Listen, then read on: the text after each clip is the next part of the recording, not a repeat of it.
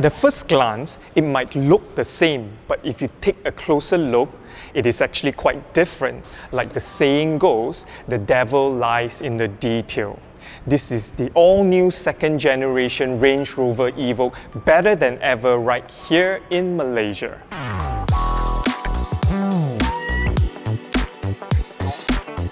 Quick look on the outside. The Range Rover Evoque maintains its distinct coupe-like design with the rising belt line and the declining roof line, similar across the other models in the Range Rover family. This R-Dynamic variant also comes with burnished copper accents all around the car. Now at the front, you get a beautiful slimmer LED headlight with sweeping indicators, and fog light has been positioned at the bottom. A touch of the Velar is noticeable at the flush door panel. It gives it a cleaner and more seamless flow. No more protruding door handles. On the wheels, you get a 20-inch 5 twin-spoke rims with 235-50 tyre profile as standard. Now at the back, you also get a slimmer, less angular LED light and the Range Rover badge has been brought down to be streamlined across the light as opposed to the previous version where you have the Range Rover badge right on top. Now aesthetically, the new Range Rover Evoque is more refined, arguably one of the best looking compact SUV in the market.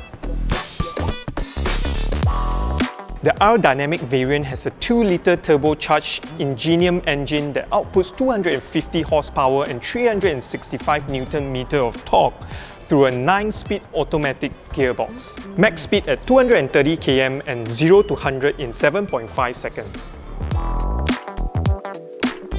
Just like the exterior, the interior is simple and clean, no uncluttered surfaces and giving you the stress-free feeling.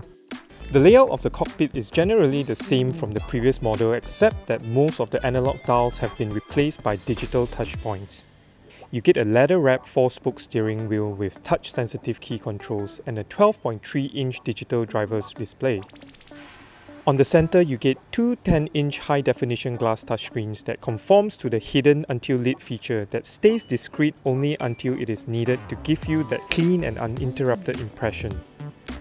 Now the fancy circular pop-up gear knob has been replaced by a more traditional one and you also get more storage spaces around the car.